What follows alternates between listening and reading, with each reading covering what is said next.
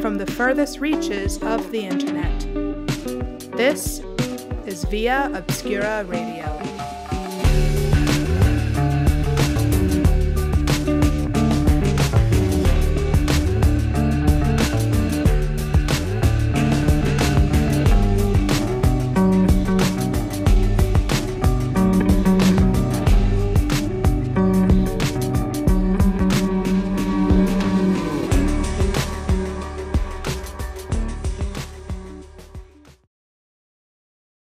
Hello, and welcome to Via Obscura Radio, a voice of the distant right and platform for exploring new and neglected ideas. Here at Via Obscura, we ask questions unasked by the modern academy and listen to voices unsupported by the mainstream media to find ideas that can lead us forward. I'm Dave from the YouTube channel The Distributist, and joining me once more today is James from the YouTube channel Royal Endeavor. How are you tonight, Dave? Great. I think that this has been certainly a slower week in the news than last time we were on Via Obscura Radio. I know at the time when we recorded the previous Via Obscura Radio, we were in the heart of the Kavanaugh hearings. At this point, it feels like at least as far as the mainstream media is concerned, there's been a bit of quieting down since the real rage had swept the nation a few weeks ago. What's your impression about what's been going on these days?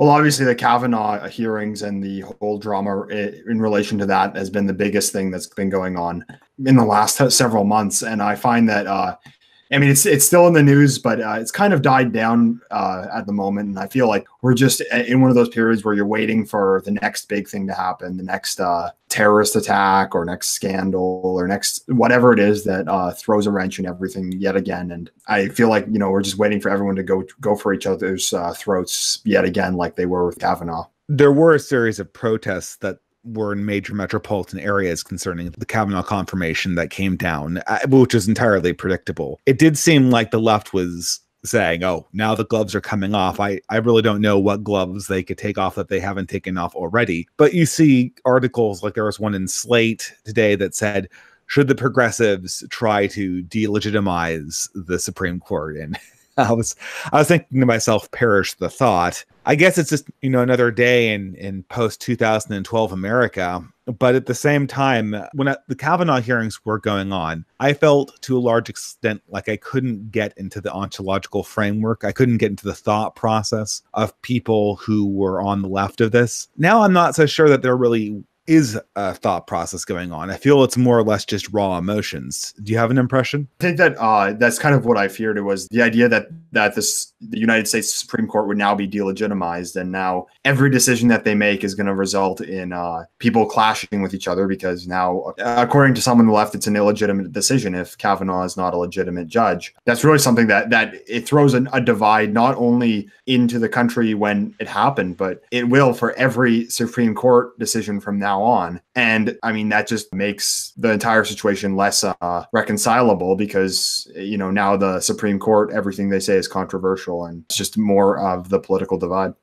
I'm not so sure how sustainable this actually is. Uh, the left has been the defender of the authority of the Supreme Court, but basically, as far back as my political memory goes, uh, it seems odd, but certainly not inconceivable that they do this 180 turn right now and on on this particular issue. Part of me thinks that this is going to die down. Yeah, I think it just speaks to the partisanship, and I think that this uh, applies to the right also. In that, um, when the Supreme Court uh, rules in in their favor, well, it's uh, it must be obeyed. When it goes against them, well, it's it's uh, the decision was illegitimate. And I find it's really just a a, a sign of a uh, disunified society when there really isn't any institutions that have the society wide trust in it anymore. And uh, I mean, to be honest, I don't really have very much trust in the Supreme Court of Canada or the United States either. So I mean, I guess I could you could say I'm guilty of this too, but there's there's just very little uh, left that people have trust in, and it really seems to be uh, well, what's uh, what's going to benefit my side and what isn't.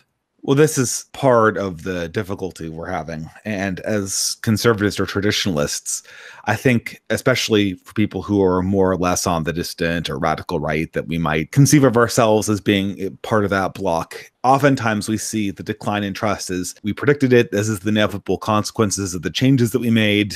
Didn't I tell you so? But at the same time, progressives benefit from low trust societies. So, how do we reconcile this? At some level, I feel that the society where everyone's at each other's throats is a society where the very types of organizations that we want to support are going to be increasingly irrelevant. In one of these uh, divided societies, uh, it, there doesn't really seem to be any consensus. There wasn't any consensus of what the society values, what what they conceive of as good, and uh, there, there's nothing uh, really to hold that that uh, narrative together. And we're, we're kind of headed for that.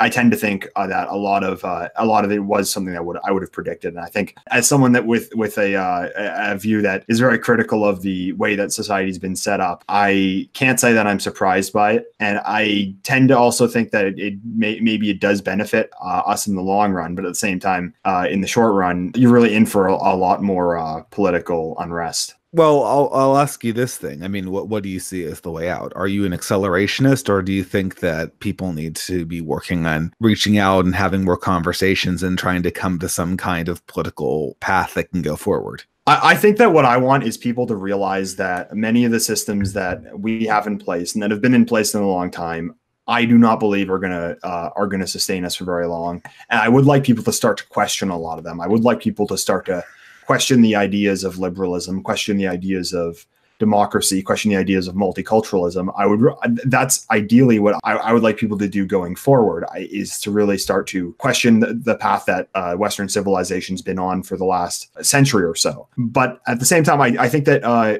in breaching a divide, I think that both the left and the right have criticisms of the present day, and many of the uh, many criticisms from both sides are valid. And maybe finding a maybe finding a, a solution which maybe takes into account a bit of both. For example, uh, a, a, traditionalist may look at uh, the loss of values, the loss of religion, the deterioration of culture, or lack of social trust as one of their major critiques of uh, of modern Western society, and and from someone on the left, perhaps their one of their major critiques is uh, is the excesses of capitalism, maybe the excesses of neoliberal economic policy and uh, the living conditions of the working class declining, with uh, jobs constantly being exported overseas. I think that uh, someone with the, with the, two people with those uh, views of the world, I think, could come to a lot of uh, could come to a lot in common in their critiques of the modern world, and perhaps maybe some of their solutions could be reconcilable with each other. I'm sure a lot of people who are listening to this are probably going to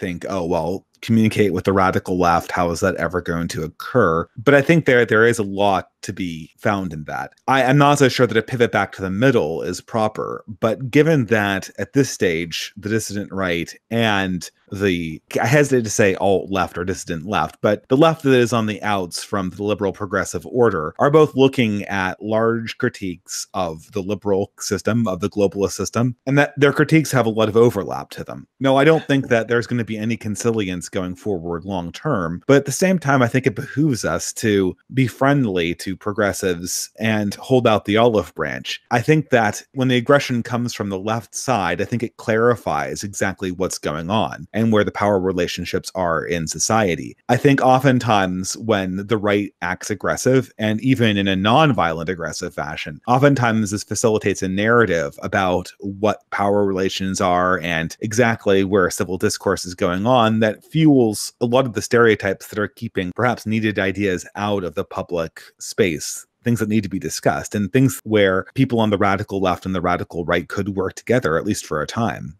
Yes, because anyone who really has a uh, a strong critique of modern society is going to be listening to to radical views uh, in relation to what's really just the main the mainstream consensus. And you know, I think uh, I, th- I, think that many of the critiques that uh, the left has had historically, I think that many of them might be critiques that the right might have today, and perhaps uh, perhaps vice versa. And, and yeah, I think I think that um, I tend to think that the center won't hold, and and I tend to think that we are definitely not headed into an era where people become more moderate, where people return to kind of the liberal consensus. I think that's going to die off, and I think that we, we need to come to we need to really like facilitate these discussions on well who uh, what is someone's critique of the modern world and what what do we have in common? And perhaps can we see the, the world the same way? You're talking about how things that the left has sort of discarded might be useful to the right again. Of course what i always think about is the slow food movement. There's an anti-globalism that was entirely left-wing and a, and a populism that was entirely left-wing in the 1990s and i think as we moved past the era of ralph nader and into the era of barack obama and intersectionality a lot of those elements are entirely discarded. And i think if the right goes in the direction it's going now where everyone's just at each other's throats and people aren't talking to each other i think a lot of disillusioned leftists might actually be more at home on the right. Whenever i talk to somebody from the left i always ask them very directly have you ever considered right-wing ideas? Have you ever considered ideas on the radical right? A lot of people never are confronted with right wing ideas in a way that's invitational, in a way that's welcoming. They see us as an adversary, they see us as someone that they need to beat. And of course, if they go through your modern educational institutions, they've only gotten the negative side at most of the ideas that are not strictly aligned to the progressive and liberal side. And people just present traditionalist ideas in a way that's inviting, in a way that incorporates many of their objections that they themselves have made. I wonder what the result would be. I think it's going to be way more productive than than the kind of street fighting we're seeing from both people like Antifa and the rest of the people who are out there throwing rocks at each other because I do feel like the battle lines are being redrawn, and, and, on both on the left and the right. I think um, one argument that I've heard is that really the push uh, from kind of the establishment is the push for globalism, which might incorporate radical views from the left on things like uh, intersectionality, on things like race or gender, but it also might incorporate things like neoliberal economic policy or massive trade deals, uh, uh opening uh, borders from tariffs, and uh, and all, all such things that you know would have been in another era considered right wing, whereas they'll also incorporate uh, aspects that will be considered left wing. Yeah, and I do, I do see on the left that there is kind of an, uh, a group being abandoned, the kind of uh, traditional uh, left that stood up for the working class, that they had an idea that um, you know they were the voice of the of the of the workers. They were the voice of the little man, you know, with labor union movements. I think um, a lot of uh, people that a lot of those people may be at home on the right in, in, an era where the right's becoming a lot more populist. They start talking about localization rather than globalization. Perhaps uh, start talking about uh, you know the average person rather than than the elites. There, I do see I do see a middle ground. I do see a ground that definitely people uh, that traditionally would have been on the left and people who traditionally would have been on the right. I think they could come to a consensus there. Well, I think eh, perhaps the buzzword of the hour is indigenous autonomy. I think that's something that you'll see a lot of people talking about in the left at all previous stages of its existence, but you probably won't see many people talking about that now too loudly at the top tiers. Uh, at the top tiers, they're they're pushing for less and less autonomy and more and more uh, globalization. Really, I think that if I were to offer some advice for people on the right, is don't be the first person to walk away from a conversation. Don't be the first person to walk away from peace. Don't be the first person to walk away from consilience. I think that oftentimes we understand that there's a need for radicalism. We see that the left has been unwilling to grant spaces for that radicalism to be discussed. And we therefore conclude that we have to be as intransigent as the people who are opposing us. That's not the case. And I think oftentimes the most fruitful conversations I've had have been coming off of conversations with people who consider themselves on the left. Uh, and keeping with that, this week I was able to talk with Ari Cohen Wade, who is best known for his show on Blogging Heads TV. We talked about a variety of topics, but really focusing on the current left right divide and the culture war. He was kind enough to talk to me for an hour.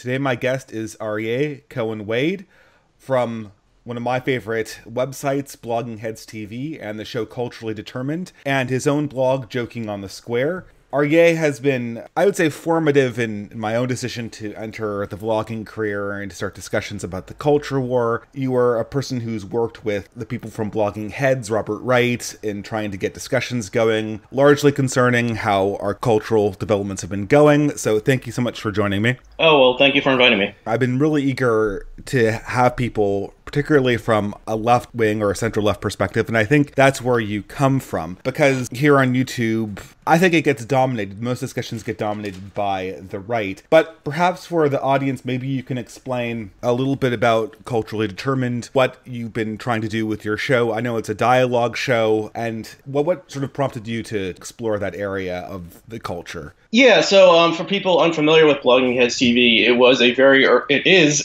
and was a very early video on the web site. Uh, it premiered in 2005, which is the same year that YouTube premiered. Obviously, YouTube has been a little bit more successful than Blogging Heads, but it started out uh, featuring conversations between journalists, uh, writers, academics, and bloggers, and uh, sometimes featuring a right left perspective, but not always. Um, the mm-hmm. founders are Robert Wright and Mickey Kaus. Robert Wright is a more towards the left liberal, and Mickey Kaus is a more towards the right liberal, or maybe he wouldn't even call himself that anymore because he became a Trump supporter in the past couple years. And the site uh, grew and expanded to host all sorts of conversations, uh, primarily politics and current events, but also stuff about science, religion, philosophy. Those topics spun off into a sister site called Meaning of Life TV. Uh, my podcast appears on both of those sites and I started it a couple years ago because I felt like there was a kind of a hole in the programming we were presenting. We previously had uh, Alyssa Rosenberg as a regular host. She is now at the Washington Post, and her success arose beyond blogging heads, so we didn't have as much culture coverage as we used to. And I've always had an interest in culture stuff. It's actually maybe what I'm more interested than political stuff. So I started the show and basically just pursue my own interests, trying to talk to people who have written or thought about some uh, cultural concern or object and uh, yeah, just have a conversation with them. So I should emphasize that the show Culturally Determined is very diverse war, but I've noticed that the culture war and the sort of great American divide between left and right that we call the culture war does come up on your show fairly frequently. Yeah, I think the, you know, uh, when you said you wanted to talk about culture originally, I was thinking about it when I was like first becoming cognizant of politics. You know, when I was a teenager in the '90s, culture war meant things that were usually usually related to um, morals and family and home life, and you know, abortion was kind of in there, but you know, kind of things like school prayer or should video games have uh, you know, should the government be uh, rating video games that are violent and, and a lot of stuff that related to women in particular and women's role in society. And it was almost like the culture war was kind of like the, you know, like junior deputy to the main political thing that was the important thing that people were talking about. And today, I guess I, I don't, it, it seems like everything is culture war today. Everything is related to um, identity, everything can be like a personal attack on someone else uh, everything is hypercharged, and the 90s culture war seems quaint. The debate about whether um, the government should be labeling violent video games is like a joke now. And the debate that, that the Gamergate mess brought up uh, exposed a lot more undercurrents of various things that are more integral to society than you know whether a 14 year old can play Mortal Kombat. So yeah, so it seems like it seems like everything everything is culture war now, and Donald Trump is the culture war president. Yeah, he is. But obviously, I have a lot of theories about what's driving this conflict. Probably that come from more of a right wing perspective. What do you think uh, is the core of this? Do you think there is some kind of impetus that's driving the culture war? Is there some kind of fundamental disagreement at its heart? Obviously i'm not expecting some kind of definitive answer but i'm sure you've talked to a lot of people over your career at culturally determined who, who might have had some ideas or insights. Uh, do you have any guesses? I definitely don't have a definitive answer. I think there's different ways you can look at it. There's like the um, the vulgar marxist way of looking at it mm-hmm. or, or the also sometimes called economic determinism way of looking at it, which is kind of like the culture war stuff is ginned up in order to get people to click on articles and watch TV shows and watch YouTube episodes that make them mad, so they'll keep on watching more. and so it benefits the people who is who are ginning up these fights without ever really changing the underlying structures of power below it. So I think that's part of it. Part of it is definitely coming from uh, young people on the left. We all know the three-letter acronym for for these Yeah, people, of course. and that definitely is that I graduated from college in 2005, and when some of this kind of the changes in the way college students treat politics started being talked about nationally, it was very very surprising to me. And um, I went to Yale University, and there was a famous incident about Halloween costumes at Yeah. Yale, and um, we all remember that one, right? Uh, Christakis or whatever, or the the couple yeah, there. yeah, and the video, the video of the young woman uh, screaming in the face of this guy who he was the master. It was called, and they actually changed it to head of house. Uh, in the past couple of years, the, the master is kind of like the social director of a dorm in a gl- that has a glorified title. The students probably should be reminded that uh, even when slavery was legal in this country, the masters of the house in Yale weren't actually enslaving their students. Right. It's it's it's some term borrowed from British like Oxford and Cambridge Yeah. system. And yeah, so it's basically kind of like the person is a professor and they live there, but it's in some ways it's like a glorified RA.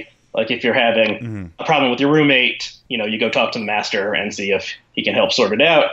Anyway, this video of a student uh, getting in the face of Christakis, um, if that's how you pronounce his name, and screaming at him was just totally shocking to me and like nothing I could have imagined any student doing when I was at that university 10 years before. So there's definitely been some kind of change there. But at the same time, I think that has been taken advantage of and exaggerated by the right because how many people go to college? How many people go to uh, residential colleges? How many people go to elite residential colleges? It's not that many. Not very many people go to Yale, but the people who go to Yale kind Yes, of this is true. They go on class, to- right? I mean, Uh, go on to uh, Supreme Court appointments. yeah, Uh, exactly. I, I can't tell you how many think pieces I've read just in the last day.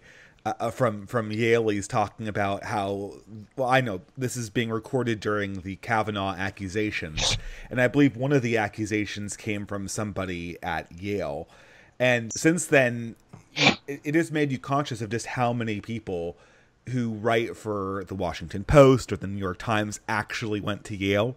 And I went to a reasonably good flagship state college that was known for an engineering program. I won't go into which one, but it just you just realize the the pure number of people who have the these backgrounds in, in these these elite residential colleges is, is quite high. It's it's true. When I was there, um, so Yale has these residential colleges. There's 12, there's 12, there's 14 of them now. There's 12 when I was there. They're glorified dorms, uh, but you stay in them all four years years um, in my residential college was um, Barbara Bush, George W. Bush's daughter, and George W. Bush and George H. W. Bush were also in the same residential college. And if if you're a child of alumni, you can request. Your it's kind of like Harry Potter in that there's a random sort uh, to which uh, residential college you're put in. But if your parents, if one of your parents are was in that residential college, you can request it. So yeah, so the ruling class continues to send their send their children to um, elite schools, and but you know it, the elite schools are still kind of a melting pot in some ways. There are a lot of middle class people. I, I grew up in a middle class family, and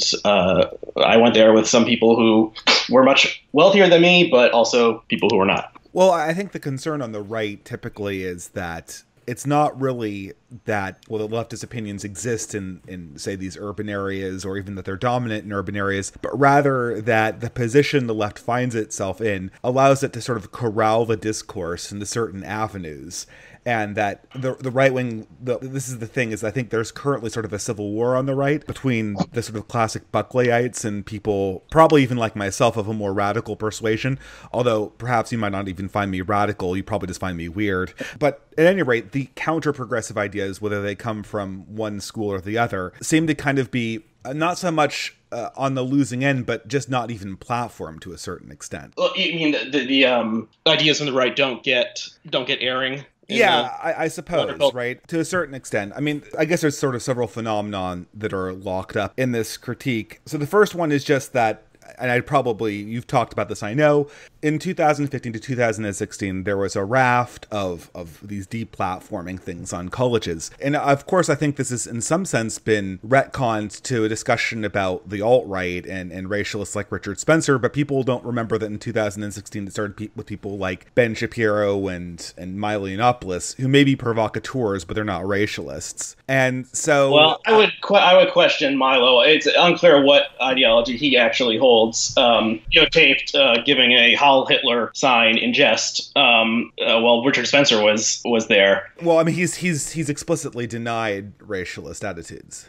I don't, I don't want to get into Milo because Okay. I, I he's essentially just like a clown and a provocateur. And well, sure, but this is where the this is where the deplatforming started, right? And and then the question was, well, what ideas are even allowed to be spoken about on on college campuses? And I think in some sense this has led to the sort of Jordan Peterson phenomenon. I know you've talked about that a lot. Um, I, I guess I don't know. It's just it's just hard to understand exactly how the left wants to interact with the right, especially if the right starts embracing its more radical sides in short order, which I think it probably will. Well, okay, so on on deplatforming, I think deplatforming is a, is at once a stupid tactic that shouldn't happen and essentially meaningless.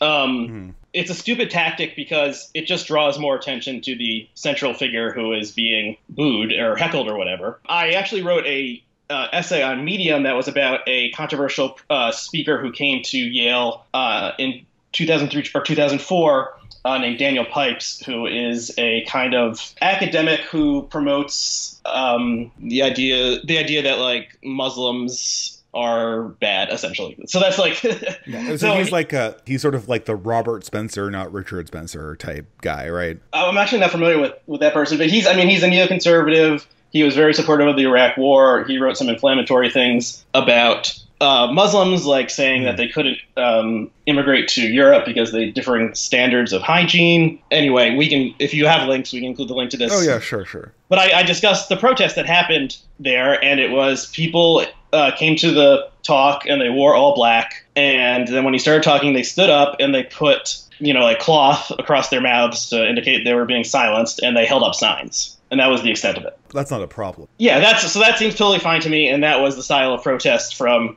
15 years ago, and um, yeah, and this was dur- you know this this was during the I guess it was it was the it was late 2003, and it was the period when it started to become obvious that like the Iraq War wasn't actually going well, Mhm. uh, and the person who helped bring him to actually two people helped bring him to campus, um, Jamie Kirchick, who is now a fellow at the Brookings Institution or whatever that's called Institute, and Eliana Johnson, who is now uh, the White House correspondent for Politico. So there's your ruling class right there. Yeah. So so that that's appropriate protest. Um, and Daniel Pipes did not become a martyr uh, the way other people have become martyrs when they get deplatformed. Mhm. Okay. So that so stupid tactic shouldn't happen. Yeah. But it's also meaningless because speaking to a room of 80, 19 year olds, this is not important in any way. Um, you know, it gets attention when it's on an elite campus because people are obsessed with things that happen on elite campuses. And it uh, gets attention when there's video because there's people yelling or jostling, and that's, you know, good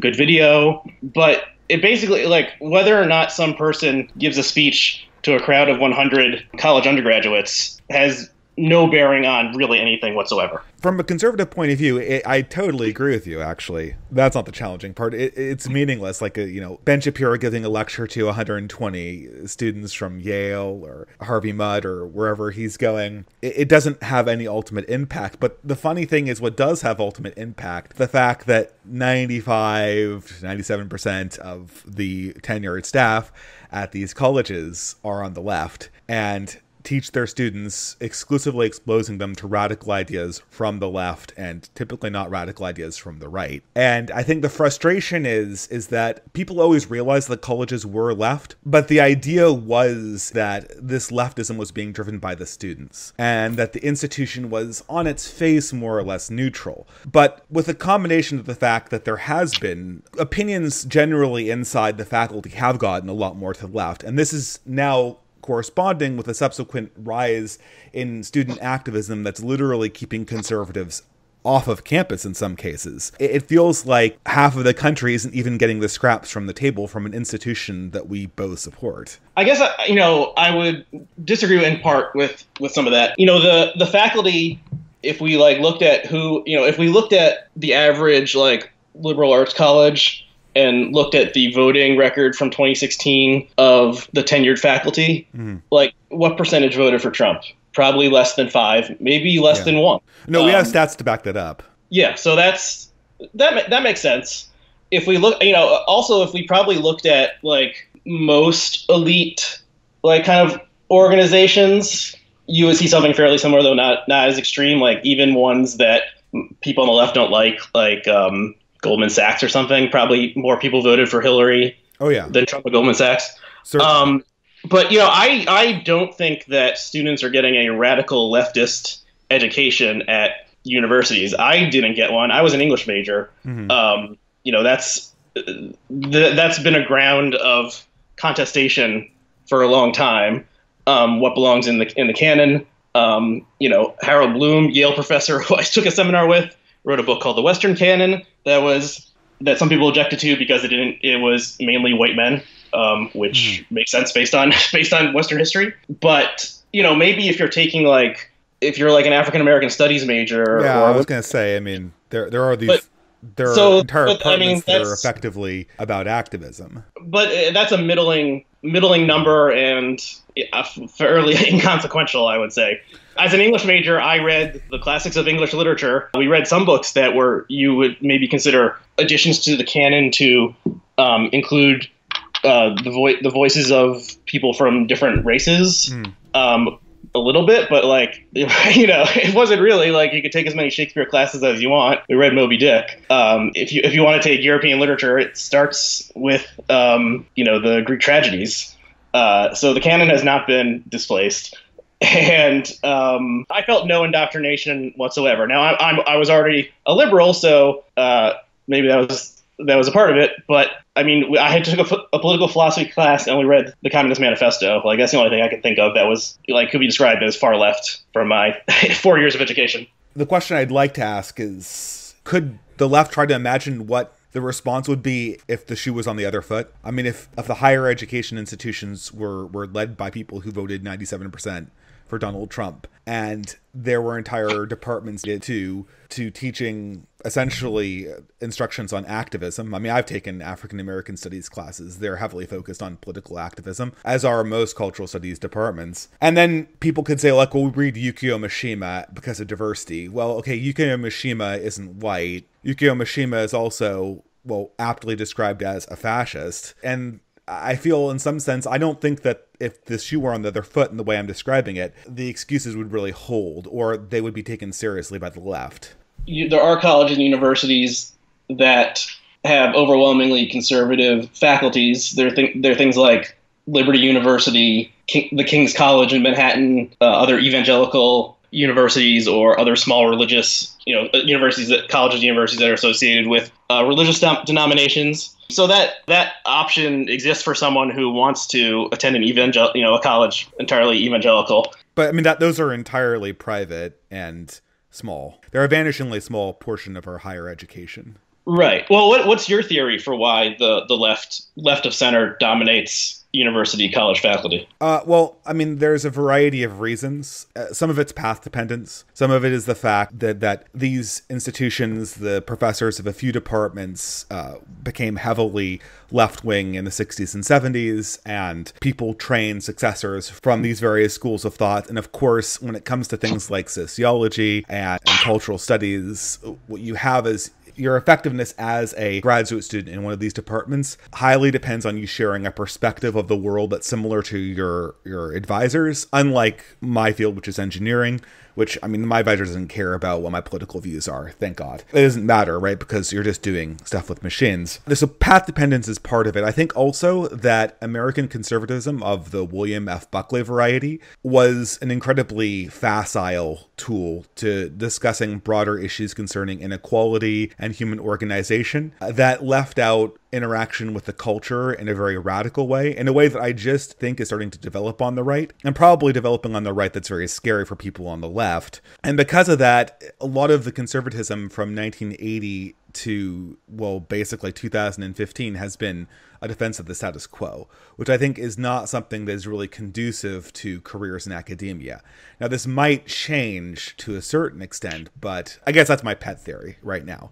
Well, just because a side note, just because you mentioned Buckley, he of course went to Yale and wrote a book mm-hmm. called God and Man at Yale in '52 or '53, Yeah. and his complaint was about the faculty being too too far to the left and godless. So it just seems like an eternal complaint, whether well, or no, not. no, it, it actually builds into my explanation. These people, these these communists at Yale, train successors who train successors and they came up with a pattern of answers that's been basically continuing on since the 50s it's the path we've been on. I totally agree. Now i mean the, the existence of man and god at yale indicates how facile the complaint from that school was but i, I don't think it, it, it means that it's it's not true. Okay well i so i have a another explanation mm-hmm. that I'm not sure I entirely believe, but I think it's the most likely one. So there were conservative people who went to Yale. Uh, one of them was my roommate for two years. He was in uh, the Party of the Right, which is a somewhat infamous small organization, part of the Yale Political Union that uh, would do all sorts of wacky stuff on campus. So, you know, the conservative students attend Yale, they're, they're there. They generally ch- don't choose to become academics. Why is that? I think it probably has something to do with money. If you're going to grad school, if you're in grad school now, you know this. Uh, you are sacrificing some immediate economic gains. You know, my my wife was in grad school for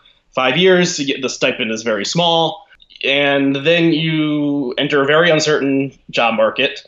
Um, in which it's possible that you could do everything you need to do to get a PhD and do your dissertation, and still find it very, very difficult to find a job. Maybe it's an adjunct job. Uh, maybe it's not tenure track. Uh, so it's it's kind of like a superstar system. Some people are able to get fairly well paying jobs, although not like super well paying.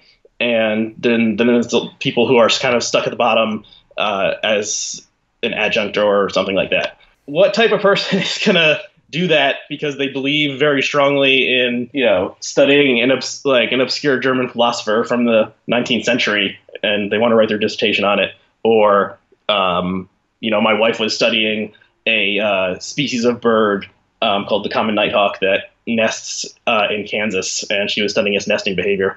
I feel like that's more like the liberal type of person than the conservative type of person. The conservative type of person usually wants to go make some money, start a family, uh, have security, you know, maybe start a company. Not like this crazy process of six or seven years of penury followed by a very uncertain chance at employment. Yeah, so it goes back to the. I think it goes back to the economic reason mm-hmm. uh, for how our you know how our faculty uh, are are assembled. Well, I guess two things. I mean, first of all, it doesn't quite explain why, as we just pointed out, probably Goldman Sachs votes 95% Democrat as well. But even that notwithstanding, I guess I hear this. I've heard this explanation before. Um, I guess it's not so compelling to me because I, I, was someone who had conservative sympathies in undergraduate, and there, there was just no path to studying the kinds of things I wanted to study when I considered going into sociology. The professors were all progressive, so the idea that this would be a career where I could actually follow in these people's footsteps seemed kind of questionable. And you know, I had I've had people, I've had progressive friends who have gone into academia, have done things like written dissertations on the works of Michel Foucault, and then went on to teach and and um, professors don't make very much money but they they get by. And they've gotten reasonably paid professorships teaching uh, stuff all like the history of the black power movement. And this has been this has been a path but if I say, for instance, were a reactionary student who's interested in the works of uh, Joseph de Maistre or Yukio Mishima, to take a uh, non-white example. I, I, really don't think that there is any department it, eh, that's going to hire an expert on Yukio Mishima to teach it to undergrads. That's never going to happen. Uh, and and so I guess I, I, I hear the explanation. It's just for personal reasons I find it somewhat questionable and i guess i don't know it, it, seems a little bit convenient to me you know if if someone wrote their phd on mishima and uh, was a start you know a dazzling mishima scholar I assume they would be able to find employment in some Asian studies or comparative literature department somewhere. But I mean, you're, you're right that you know Mishima is not very hot right now, mm-hmm. or maybe is among certain certain people. You know, I had I had never heard of him until after college, and I um, saw the movie um, about him, and I've uh, confessed to never having read him, although I have a copy of one of his books floating around my house somewhere. So, conserv- I think conservative thinkers maybe do not get as they don't get promoted in the same way that more liberal leftists do.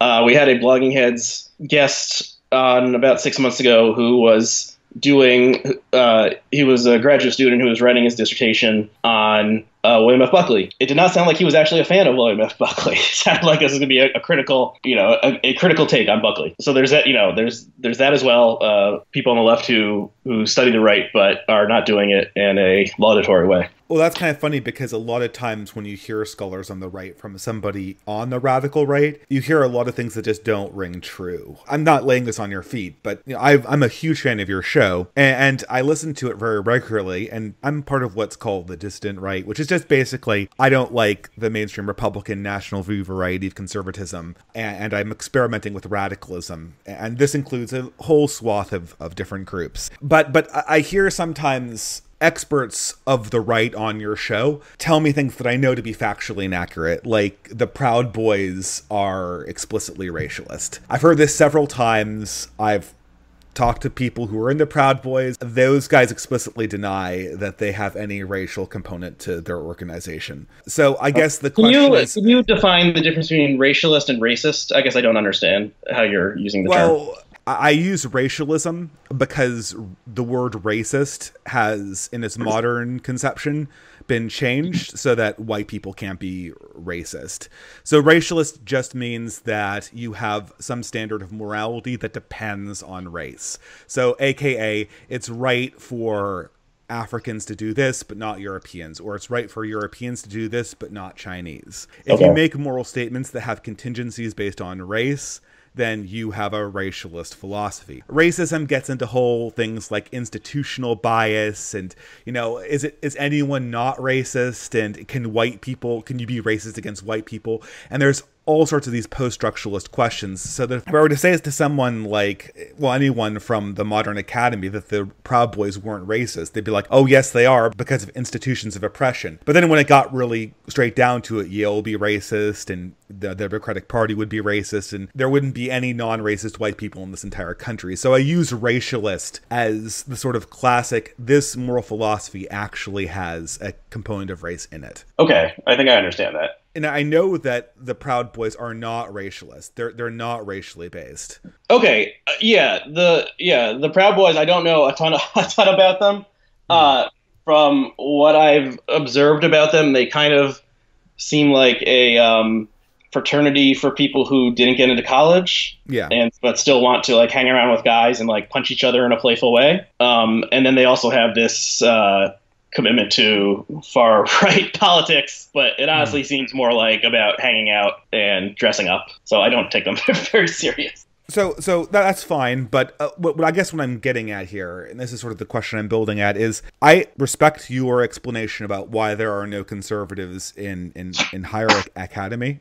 I don't know if I agree with it, but it's certainly possible. And it probably is more or less the same explanation for why there aren't conservatives in mainstream media publications. But does do you think this creates sort of a problem where large swaths of this country's political and philosophical opinions aren't really being represented inside the institutions uh, that these organizations supposedly represent? I I do think that's a problem. I think that um, one of the things that Trump was able to exploit in 2016 was this idea that like uh, they and they is kind of loosely defined like have taken your culture away from you and I'm going to help you like get it back and you know make America great again. Uh, and you know the has been has been pointed out before the the point at which it was great that we're making it great again is uh, is left kind of for each person to decide on their mm-hmm. own.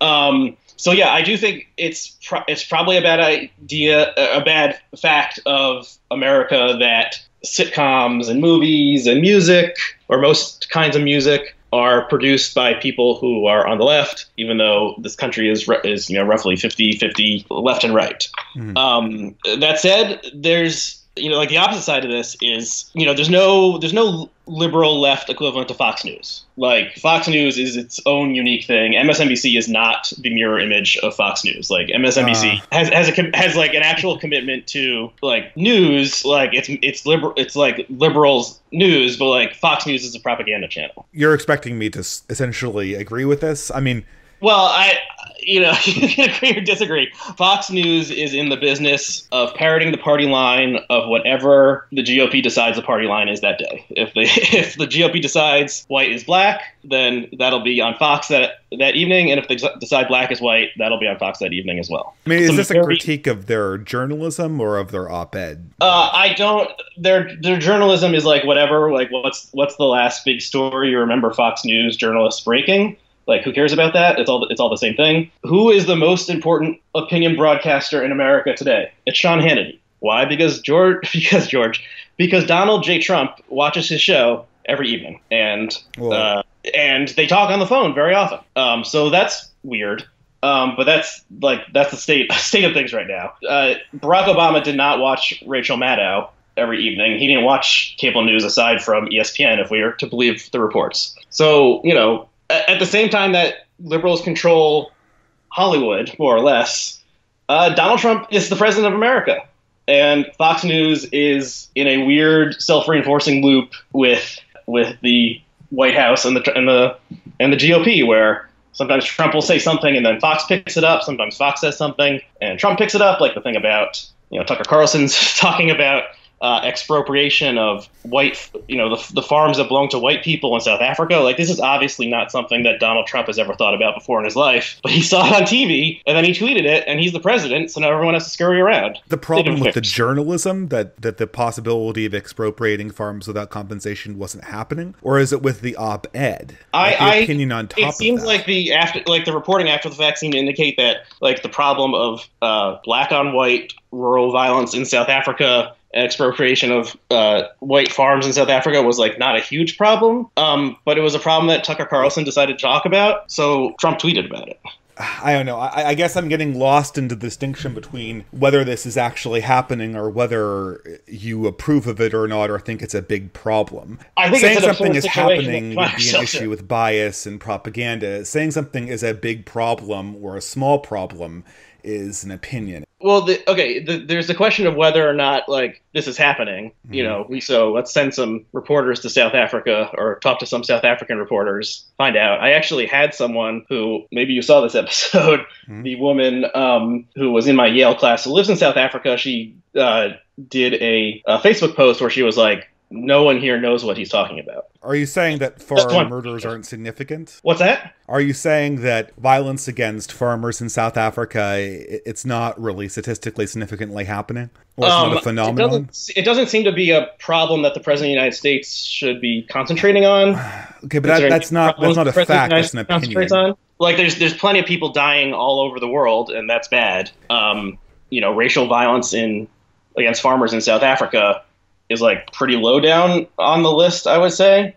A fact is whether it's happening or not. Uh, how much attention our leaders should be spending on addressing a certain problem is an opinion. What I read after Trump tweeted that, it seems like it might be like there might be some small increase in this kind of violence, but it's unclear. There's an obvious reason for racists or racialists to promote this idea that blacks are killing whites in South Africa and we need to stand with our white brothers. Um, I don't know why Tucker Carlson particularly cares about this issue. I don't know why Donald Trump particularly cares about this issue. I don't think he does. He probably forgot that it, he ever tweeted this to begin with. I don't know. I, I hear the critique of Fox News, but to me, ultimately, it always seems unclear whether the disagreement that progressives have with Fox News is due to their factual reporting or due to their journalistic perspective. And when it comes down to it, you know, we already agreed that our journalistic class is like 95% Democrat. I mean, that's just a fact. We have stats to back that up. So to me, if, if, if 50% of this nation's opinions are getting packed into one news channel. And most journalists wouldn't, by their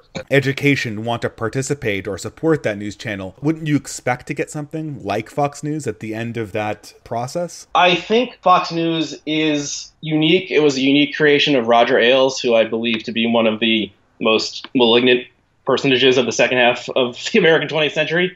Um, like I think it was contingent in that way, in that if Ailes wasn't around, the network wouldn't exist in its you know current form. Okay, so it has straight reporting. If you turn it on at like two in the afternoon, there's someone sitting at a desk telling you like what the stock market is doing that day or whatever. Um, that's that's all fine. That's not really, it, it, you know, if like Fox and Friends, which is Trump's favorite show by far, um, you know picks up little tidbits from that they find online that like make you know they found like a liberal looking stupid or like a video of a black person doing something stupid and then they play that and then the viewers feel good. So like that's not great. And then yeah the evening programming is conservative propaganda. They they, they know they're it's crazy because they know they're talking to trump directly. And, and there's been reporting that um, people in the administration know that it's a more effective way to communicate with Trump to go on Fox News and talk to the camera than to like have a meeting with him. So that's just, that's just like absurd.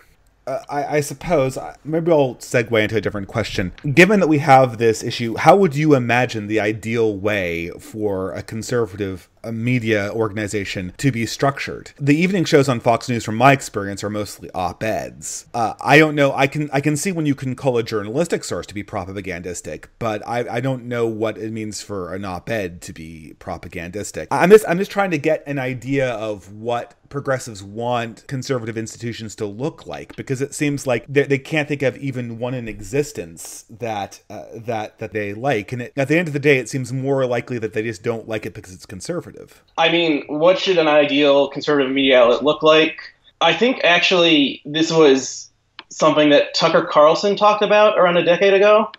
And he wanted the Daily Caller to originally be like a straight news organization that was staffed by conservatives. And breaking serious, you know, doing actual the actual work of journalists, which is like calling people on the phone and talking to them and asking, did they say this? And looking at documents, and it's like super boring. So if I have my history correctly, that was the original point of Daily Caller, which launched around 2008.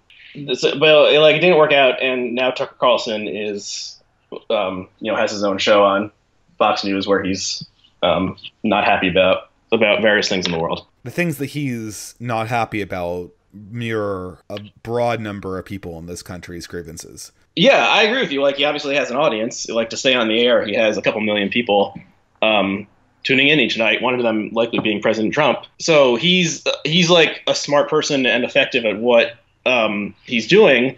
And he's had, um, you know, there was a long profile of him that ran a couple weeks ago in, I think, the Columbia Journalism Review, which is worth reading, and it talks about his, you know, evolution uh, through time and landing at various places. And he used to be uh, on uh, Crossfire on CNN, and he was like the conservative guy matched with the liberal guy. And then he actually had a show on NBC in which he uh, took his bow tie off, and he was more kind of center centery. That didn't last very long, and then he was on Dancing with the Stars, and then he had he launched a Daily Caller, and uh, as a young man, he was a serious, uh, you know, serious journalist writing profiles of people and doing actual uh, reporting and was very good at that by all accounts. Um, and now he's um, you know has his own show on Fox where he's a where he's a talking head. So I so for him in particular, I don't particular I don't see like a strong um, ideological commitment as much as he's canny at figuring out what people want to hear and he's going to give it to them. Mm-hmm. Uh, and yeah, so it kind of like he he tried in some respect to get something that would be like you know like Slate for conservatives, like being the Daily Caller. Like Slate obviously has a liberal bias and does uh, a lot of opinion pieces, but also has people who are like reporting on Congress and writing it up every day. Well, um, Sure, and it became uh, something else. It became like the Daily Caller that we that we know today. Well, I don't know. I mean, I know Slate mainly for its op-ed journalism. I'm sure they have some investigative reporters, but yeah, I mean, they have people who they have Jim Newell, who's like reports on what Congress is doing every day. Um, I assume that Jim Newell, if he voted, uh, did so for, you know, did not vote for Donald Trump. Um, I think that's a pretty safe guess. But like he's doing actual reporting. I mean, any any journalist not voting for Trump is generally a safe guess, and and that I think that's where the problem starts, right? I guess I'm I'm just trying to figure out how dialogue is actually supposed to go on given that reality. Uh, the conservatives are going to want to have their opinion applied to news stories. All the right. major papers of record that are currently surviving the New York Times, the Chicago Tribune, uh, the major metropolitan newspaper where I live they are all dominated by progressives, and their op ed perspective is mostly progressive. I would disagree with that. I mean, you have, you know, the, the, New York so Times, obviously really? the New York Times and the Wall Street Journal are like the sorry, the New York Times and the Washington Post are the, like the premier papers in the country, and those have liberal, more liberal than not op-ed pages, but you also have the Wall Street Journal, which is a very conservative page across the country. You know, there's fewer newspapers than there used to be. Many of them that are just you know like uh, the paper in my town, Rochester, New York, a town of 250,000 people or so. The op-ed section can be more conservative, and sometimes you know who owns newspapers? It's rich people, and rich people often are conservative and force or coerce or hire people who are going to promote the policies they want. So I, I guess not, I, I mean they're not like Trumpist type people, but like yeah, mean, that's the thing. I mean, the Wall Street Journal is probably like in, probably supported the invasion of Iraq. Uh, you know, not a fan of affirmative action, and it goes down the line. The Wall Street Journal is conservative in, in sort of a way that I guess what you mean is that they they like corporations, right? Well, they're very supportive of uh, Brett Kavanaugh, for example. They uh, recently published an editorial throwing, you know, not being very polite towards um, the woman who is accusing him of sexual assault. Yeah, you know, they are Republican. Like they support low taxes.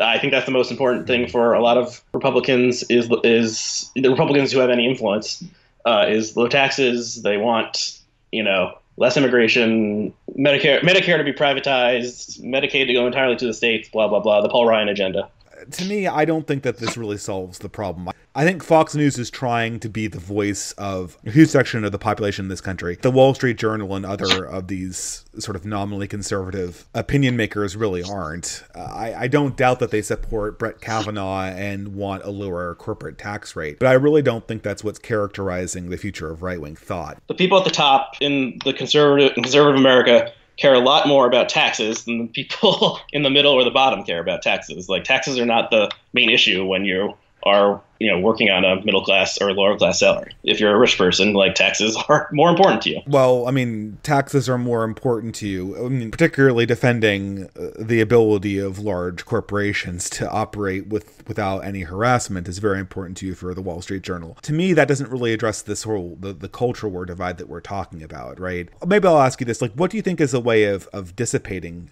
the culture war? I think step number one is defeating Donald Trump because Donald Trump is the most like polarizing tribalistic person in the country. And I mean, look at the NFL issue. Like Trump has ridden that like very hard. Um, I think if I think we can all objectively say this is not an important issue, whether someone kneels or stands uh, for the national anthem, not an important issue. Trump has made people who have loved the NFL for their whole lives uh, stop watching. So that's that's power that he has, and like people are changing their their lives and like sport affiliations that like helped define their sense of self because of this particular meaningless issue.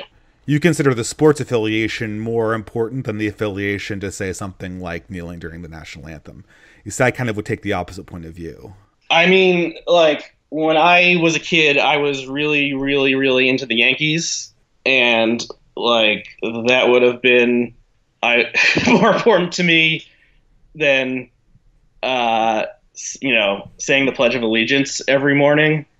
Um, obviously, I was a child then, but you know the the, the symbolism of like I don't I don't think the cat like the protests that Kaepernick started like have done really any good. Like they I don't think they've raised the issue of police violence against black people in a significant way. I think they've become just about this, like they just become about itself.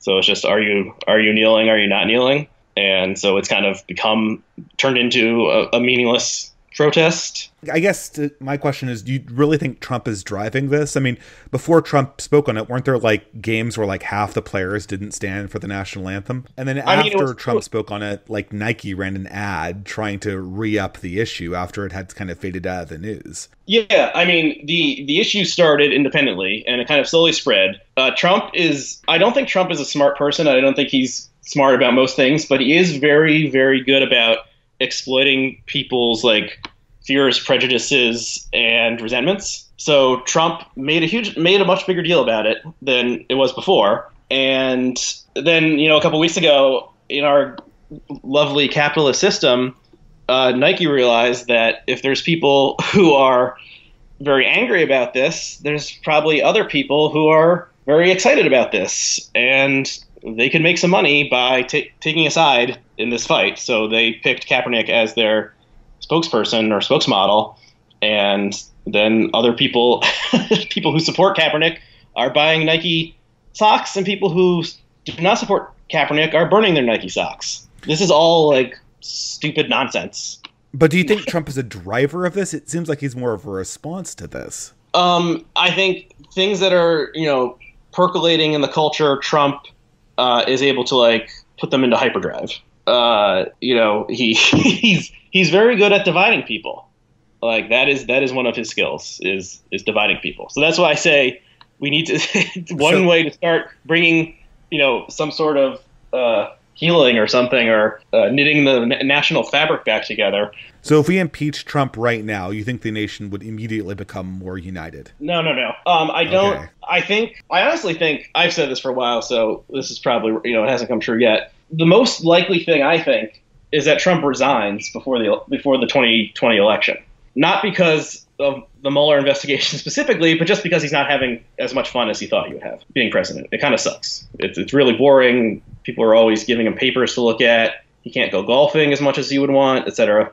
Uh, so that seems likely, and then Pence would be, you know, Pence would would you take unify charge. the nation. No, I don't think Mike Pence is unifying the nation anytime soon.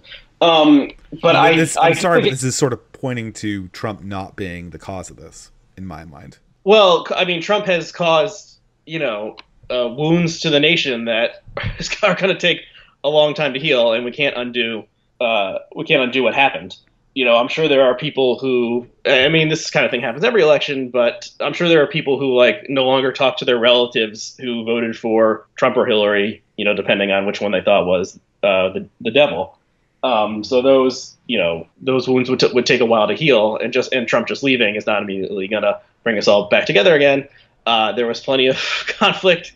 I mean, when was the last? When was there a time when there wasn't like extreme conflict between right and left in this country? Like, I mean, like Jonathan Haidt documents this, and and it did go way down during the 30s and has been tracking up since the 70s. Yeah, uh, so uh, that makes sense, and it's uh, it, Trump is it once a a symptom of tribalism in America and an exacerbator of tribalism? Um, I guess I imagine that both the right and the left are going to start embracing more radicalism. And I'm trying to determine how the left is going to respond to radical ideas that come from the right. And um, ideas like separatism, or this is not oftentimes portrayed as radical, but ideas like the Benedict option, as written by authors like Rod Dreher, which, despite him maintaining that it's not radical, is a radical idea. Mm-hmm. And I'm I'm kind of curious how how the left is going to react to radical right wing ideas. And whether there's going to be a space to discuss them in a cultural environment where left wing radicalism comes up. Now, one of the best conversations you've had on Blogging Heads TV was your discussion with the YouTuber ContraPoints. I mm-hmm. discussed. Mm-hmm. I had a brief conversation with the YouTuber ContraPoints or the YouTube channel ContraPoints. I usually just refer to the channel, not the person, mm-hmm. on my own channel. And um, the conversation broadly concerned the radical right, the alt right, and uh, the conversation as it's existed on the left has been kind of, well, these radical elements of right wing ideas just need to be kept out. And I guess the question is the question I wanted to ask to ContraPoints and perhaps to you is, is do you think that there's going to be space that's not going to be deplatformed away from these ideas? Uh, that, that, that there's going to be space to platform these ideas in discussion with progressive ideas? And where would that occur? Radical right ideas? Yeah. Um, I would say most people on the left do not respect radical right ideas mm. and see people who are into them as weird and uh, probably racist. Mm. I think that would be the kind of standard view. That creates a problem, doesn't it? Because in that same conversation you had with the YouTuber from ContraPoints, there was also a dialogue that I'm not going to mince words here entertained actually acts of violence against people whose radical ideas were deemed to be racist, whether they claimed explicit racialism or not. this is like the punching. Should Richard Spencer have been punched? Yeah. Well, I mean, it's can we punch Nazis, but we determine who we call a Nazi. That- Right. That, last caveat's always left out, right? Right. I am against punching anyone Hmm. unless they are punching you. Um, I had a couple conversations uh, um, on my podcast about this. One with Hannah Gaze, who supported punching Nazis. I was in the like unclear to negative side back then. This this would have been in the first couple months of the Trump administration when I did this interview, and um, I guess I've moved more and more towards the yeah, punching people is pretty much always bad with like very you know a very small number of exception exceptions related to self defense.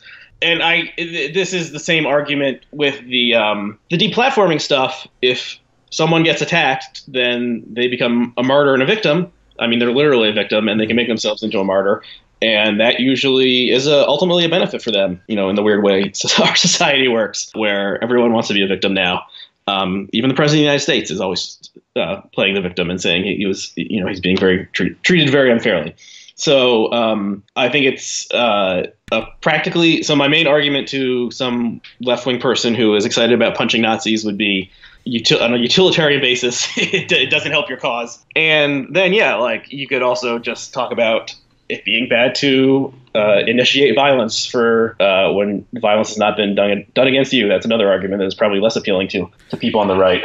Um, I think most I think most of the punching Nazi stuff is performative bragging of the type that happens online that doesn't actually translate into the real world. I mean, how many like how many people have actually been punched? Like we're we don't have mass civil unrest in this country where people or where people are constantly getting like clocked in the face on the street. Braggadocio and stupid machismo stuff that people on Twitter or in other places online like to brag about being a badass when really they're just some, you know, dork in front of a computer. There's sort of a little bit of the Proud Boys on the left type thing going on here. To my mind, the Street Fighters on both sides look more or less similar in their motivation and even they look even similar in their dress at this stage. I guess this is what probably the left wants a, a, a space where radical left wing ideas are and radical right wing ideas are excluded. I I know that the left, especially recently, and ContraPoints is a more or less good example of this, the channel essentially has an attitude uh, to the alt right that's not intellectual opposition. I have intellectually opposed the alt right myself, but the opposition that ContraPoints puts to the alt right is is like controlling a contagion. The idea is not so much to confront the ideas, but to stop them from growing by any means necessary, while at the same time ContraPoints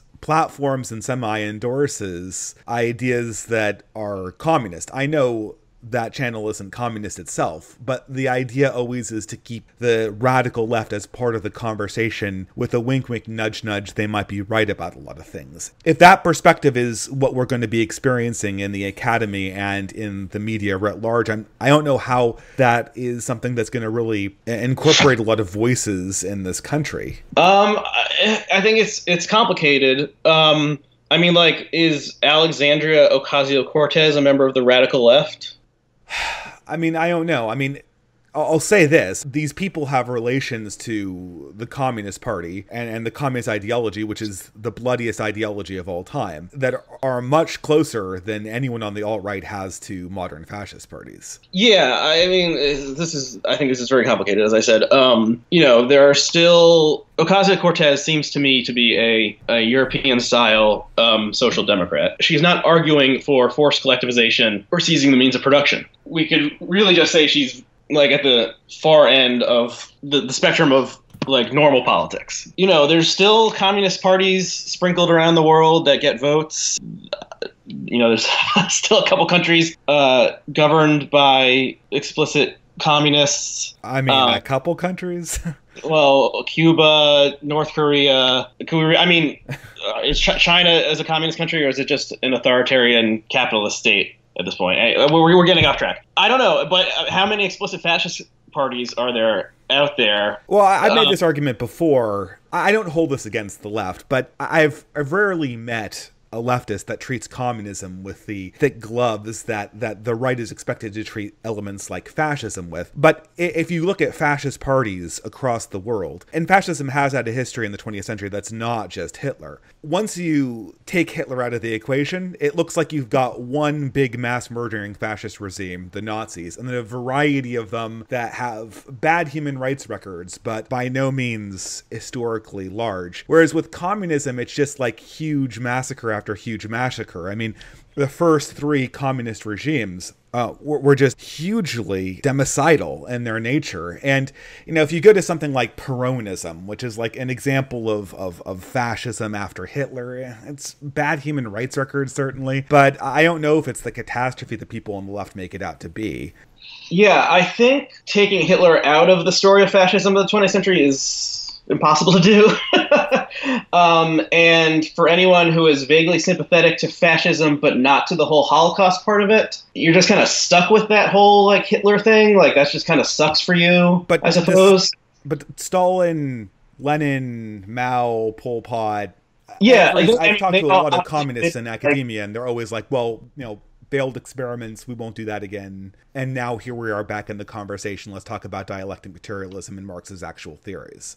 Yeah, so I mean, maybe it's, it's fairly easy for the left to disengage from their mass democides. So, from a person on the right who doesn't like racialists, who despises National Socialism, I can't say that I don't see the point here. How does the left get to disengage from its mass murders and the right not? Well, I guess the I mean, the answer someone uh, uh, a leftist would give, and in case it's not obvious by now, I am not a leftist. Hmm. Um, would be something like you know, there's a difference between communism and uh, socialism, and especially Marxist-Leninism brand of communism uh, that uh, took power in the in Russia in 1917 or whatever. Um, so the so so I think part of this is that uh, the United States never fought a hot war against the USSR. So Hitler became, and Stalin was our ally in World War II. So Hitler became the uh, cultural image of, you know, like the modern incarnation of evil.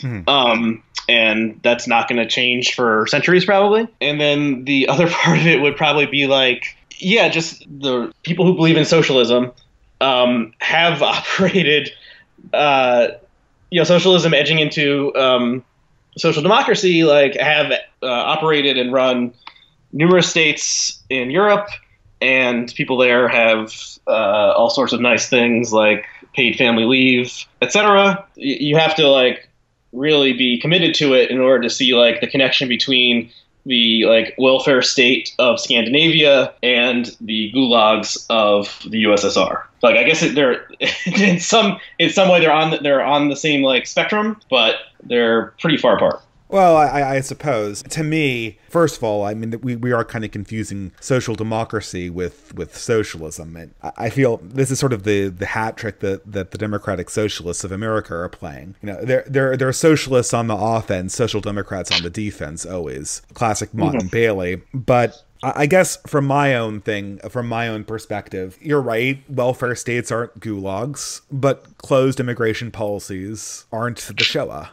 Are you referring to the United States or to like the like Poland and Hungary? Well, okay, so what I'm referring to is that if, if you go to these, yeah, I mean Poland, Hungary, any one of these far right parties across Europe and America, what they're advocating for and their primary platform is essentially, and, and it's not even Trump's primary, but in most of these countries, it's let's have the immigration policy that Japan and Israel have. This isn't Hitler, in my opinion, and I don't see how anyone could make the case that it is, even though it frequently gets compared to the Third Reich. To me, this is as ridiculous as saying that universal health care leads to the gulags. Yeah, I um actually just yesterday read the Anne Applebaum essay in the Atlantic about Poland um, she lived there for a number of years and is married to a guy who was like once the foreign minister of, of Poland. And I think she describes what's happening there in Hungary as um, like democratic one party authoritarianism or something along those lines. I, I can't remember the exact phrase. That it was much more about the the party getting its people it's chosen people like clearing out the the people who were the nonpartisan experts in various parts of the bureaucracy and installing party loyalists who had no particular expertise and just doing everything possible to protect like the party itself and to keep like the patronage organization running. But you understand so, how the comparison to Hitler is yeah, so that's not like fascism. It's like I, I don't know exactly what the term would be. Yeah, it's like quasi-authoritarian, right-wing, one-party s- state. Like that's what they're trying to do. So that doesn't seem great to me. But uh, I don't live there. Some of the, I mean, it kind of edges in some areas around towards anti-Semitism. Uh, she talks about how in Hungary, the, one of the government's big messages is that everything that has been bad for Hungary was a plot by George Soros, and uh, in I believe in Poland, one of the fights has been about how much uh, you know denying that Poles had any role in uh, perpetrating the Holocaust. It's funny you mentioned anti-Semitism because certainly one of the model countries for the distant right or the radical right is, ironically enough, Israel who people on the right wing or the distant right wing consider to be an example of right wing ideas in action. Yeah, I, have seen that. It is there is an irony that uh, decades ago, uh, people on the far right were not big fans of Israel, but you know Richard Spencer is happy about Israel because it is a uh, ethno state and has a powerful military and you know has a has a fence uh, blocking the West Bank off from Israel proper. So yeah, so the old, kind of the old like pure anti-Semitism that that existed on the far right seems to, in some ways, to have gone away. In other ways, not so much. You know, we had the whole alt right thing, uh, calling themselves goys and putting the parentheses around people's names and sending uh, it's happened to me in early 2016 you know sending me a cartoon of someone in a gas chamber so those people are still out there and they're having fun with hating Jews. I, I, don't know. I just I can't help but see a symmetry between the left radicalism and the right radicalism, and I don't see I don't see any really big caveat that that makes one different from the other. They all have their moderate incarnations. They all have their success stories. They all have their mass democides in the 20th century that they're trying to bury. The only difference I see is that the left wing types of radicalism have much more prominent representation in the academia and the media, and their ideas get talked about. Do you think that's unfair of me to say that? Um, I think, like I said earlier, anyone who's trying to operate on the radical side of the right has to deal with the baggage of World War II, the Holocaust, and Hitler. So, uh, you know, history sucks. So stuck with that, I think. Um, I mean, when I when I see people who are like like what's the radical thing Alexandria Ocasio Cortez wants to do? Um, expand Medicare for all. That that's the that's the. I talked to someone um, on Blogging Heads who is a member of the Austin, Texas DSA. Uh, he said that was their number one goal was universal Medicare. What's the like far right like main goal? Uh, maybe you can tell me. I would say it'd be something like. Um, well, I can uh, I can't tell you. Re- coerced relocation of different races out of the country? No, no. The, the equivalent of Ocasio Cortez on the right would be let's effectively have Japan or Israel's immigration policy. If we're talking about the equivalent of universal health care on the right, it's let's have the immigration policy of Israel or Japan. Yeah, I don't see that happening. I, I, I see Medicare for all happening a lot sooner than uh, a very, very restrictive immigration regime. But do you uh, think it's it's because of the board though. Disqualifying? No, it's Stephen Miller is in the White House. Obviously, it's not disqualifying.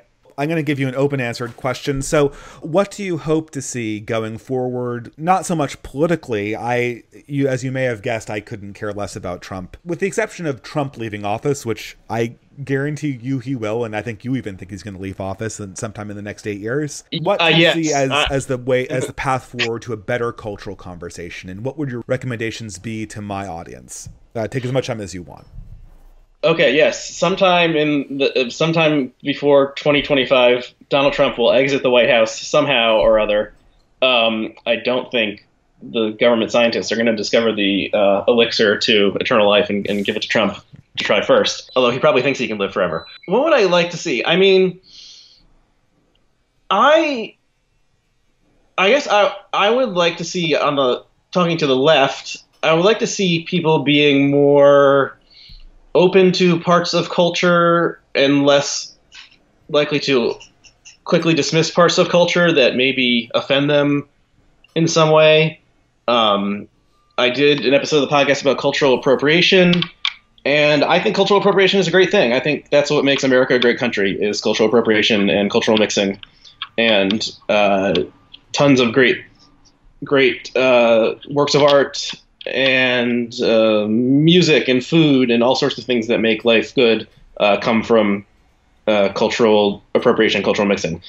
Uh, I guess for the for the right, I don't know. Um, you know, okay. Here, well, here's here's what I would say. The problem of political correctness, SJWs, and so on and so forth on college campuses is a even if you think it's like if you believe every single thing ever said about it is a very small problem. What hmm. happens on college campuses mostly doesn't matter. A lot of stupid things happen on college campuses. We just hear about them more now because uh, college newspapers are published online and things can go viral. Uh, you know, someone shoots a video and it can go viral. But there's always stupid stuff happening on college campuses. It's filled with 18 to 22 year olds who are uh, really horny and are getting drunk all the time and are uh, doing drugs.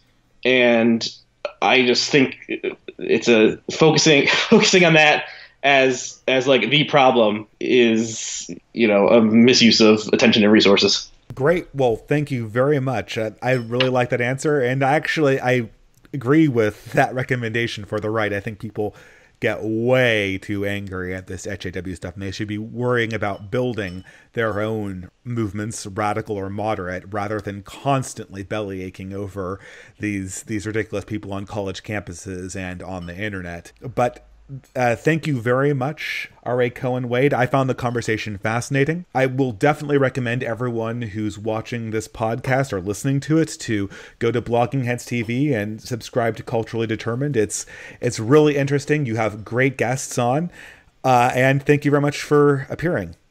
Well, thank you so much for having me.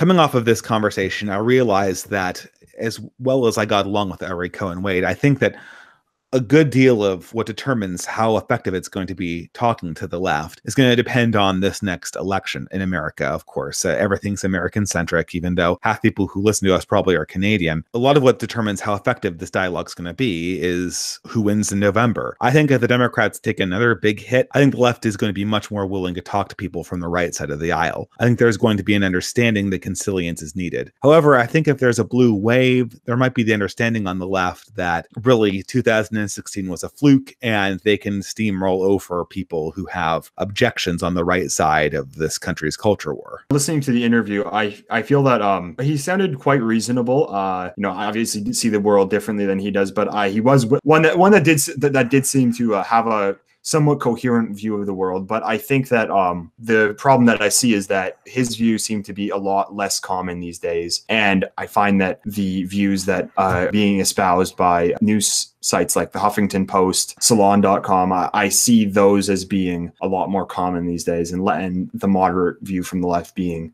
a lot less common. I will praise Blogging Heads TV though. This was perhaps a predecessor of political YouTube. It was a place where left and right could come together and talk. And while the website in its current iteration seems to be much more dominated by the left, it does have some people who are moderate conservatives there. And the, the whole idea of the site is focused around conversation, which it seems is of less and less interest to most people in the mainstream these days. There have been some genuinely shocking moments on Blogging Heads TV, and I think it's been a good start. Although at this stage, I think a large part of the baton is being handed to people who are talking about things on YouTube and on podcasts. The format lends itself more to that generally. Yeah, and, it's definitely something that we need in the light of uh, of censorship and deplatforming. For example, uh, this week, Millennial Woes was kicked off of Twitter. Here in Toronto, we also had another uh, incident with uh, the Faith Go- uh, Faith Goldy's campaign. Was uh, she had a campaign ad that she wanted to put on a TV station,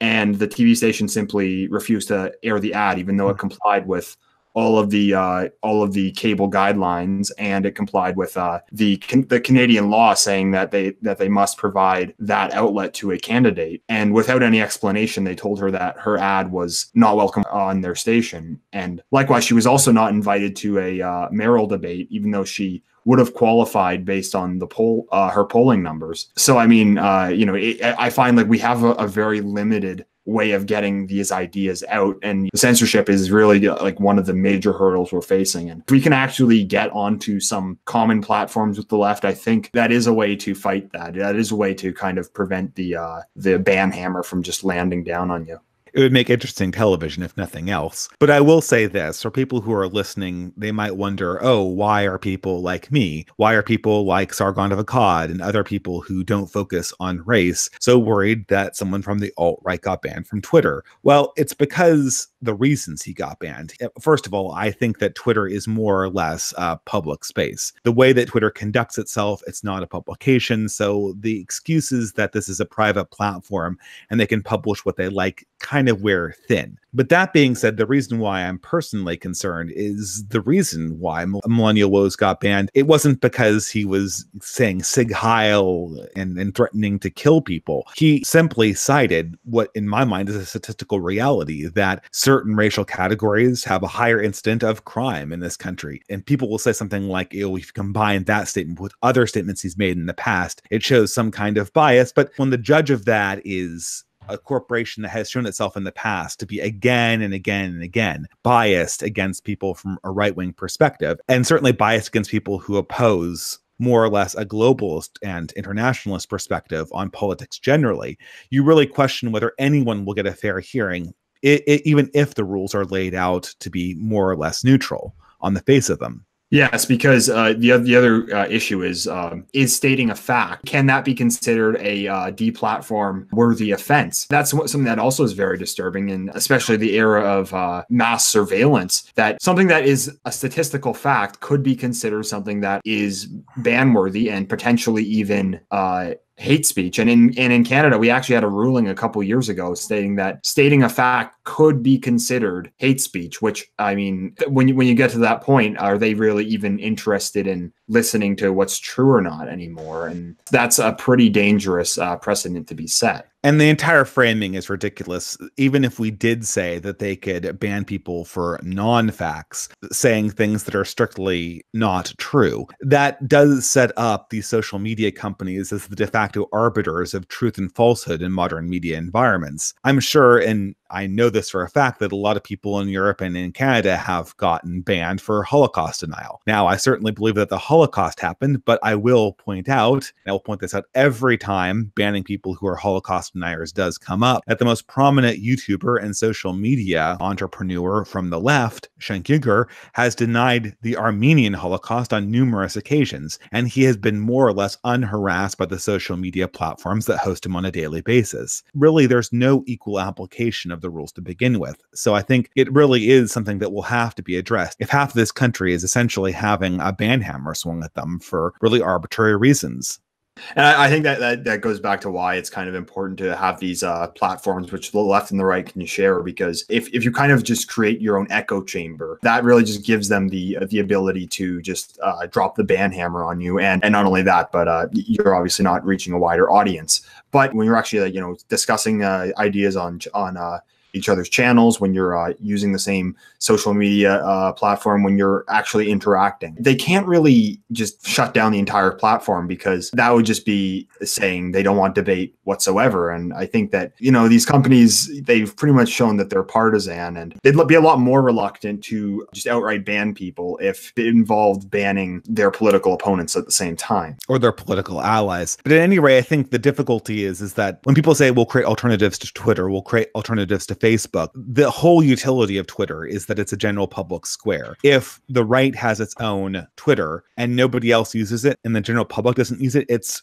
pretty much useless for purposes of actually getting the word out. I hate Twitter personally. I hate making tweets. I don't enjoy the interactions on that platform. But in some sense, I'm forced to use it because everyone else does. And that's the only reason why anyone uses it. It's to get the word out. And in a lot of ways, the social media banning campaign is quite effective because Twitter is a de facto monopoly. You know, that was what Millennial Woes had said when he got banned. It was not only that he, he can't be on the uh, mm-hmm. the public square, but at the same time, uh, he's not connected with the uh, the kind of social network that uh, is involved with Twitter. So you know all the uh, all the other YouTubers, all the other uh, bloggers, all the other writers, uh, people you know of uh, kind of in the dissident right uh, political camp. That's kind of his way of connecting with all them, and you know that just like completely it, it, completely nukes half your contact list. And not only that, but it makes it a lot more difficult to reach out to others, potentially people that are have similar views to you, or people who have different views to you. I mean, if you can't use that public space, it's difficult to set up uh, a debate you might have with someone else. It's difficult to set up a conversation you might have. Uh, that's really the public space that you would do so. And yeah, I mean, just uh, when you and you get kicked off of those, it affects you in more in in more ways than just you can't tweet anymore. It also kind of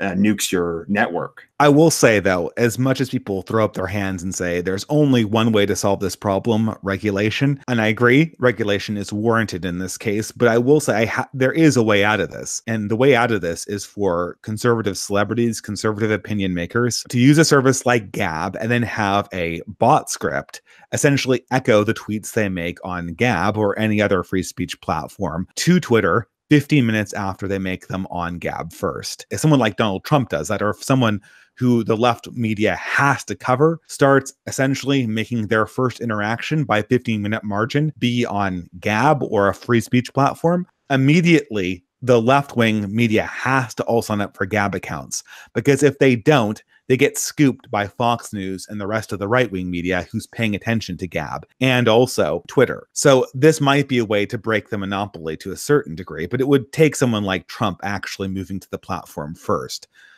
That's the only yeah. real way. Yeah, because uh, you you you need you need something that's going to attract uh, both uh, a larger audience and just a uh, a mainstream and maybe not even maybe kind of even a non-political audience. That's what you really need to get to the platform. I think that uh, the banning of alex jones uh, it definitely drove traffic towards uh, gab and bitchute. I i signed up for both once uh, alex jones was kicked off. And i think that obviously that it was a it was a negative development for us but you know i think if it got if it got them some exposure I'd say that's a positive, but I think though that for that actually to become a legitimate uh, a legitimate uh, site, they definitely would need a tr- uh, someone like Donald Trump to join. And actually, I think that even a few years ago, Twitter was actually uh, declining as a um, as a site. But then Trump's tweets during the election, that was one one thing that just drove so much traffic towards Twitter that it, it made Twitter a lot more relevant than it was, and it could work with another uh, with another uh, social media site. Well, at any rate, I think we'll have to leave social media censorship to another day, and perhaps another guest can be brought on to discuss that. Um, but to lead out for this week, is there anything in the next few weeks that you're looking forward to? Uh, yeah, I'm looking. I'm currently working on uh, several new videos on my channel. Uh, one's on uh, re- related to how kind of culture uh, functions in a society, what you really need for to uh, build a strong culture, and kind of what what's uh, getting in the way of that today. And I, am uh, I have a few other projects I have uh, planned down the road. And I'd say uh, in my personal life, I'm looking forward to uh, I'm looking forward to getting uh, uh, more exposure to some alternative entertainment because I, I find in the inter- entertainment industry these days there's not very many new ideas coming out. There's nothing really, I'm really excited about. So I'm really kind of seeking out some some indie movies, some some um, films made by people on YouTube, and really just some uh, some some new stuff that's kind of an alternative to the uh, big Hollywood uh, entertainment. I, I, do think that perhaps even conservative led media, like what Diversity and Comics is doing, might be very interesting to keep an eye on. I'm not the biggest superhero fan, but it's something that I'm really interested in. I um, well, maybe we can get him on the podcast sometime to have him discuss his work. At any rate, I'm looking forward to having a season of holidays. It's been something I've been moving around a lot, and I haven't had a lot of chance to enjoy them. I think this might be an opportunity to have some Thanksgiving and Halloween celebrations that I've been really missing in in my very hectic life as a, a blogger and and as a person who works elsewhere. But uh, for my channel, I think we'll be doing more videos certainly on culture, and I'll be keeping an eye on current events, even though I think that's getting really tiresome at this stage. Yeah, it was a good episode tonight, and I uh, look forward to the next one. Have a great week, people.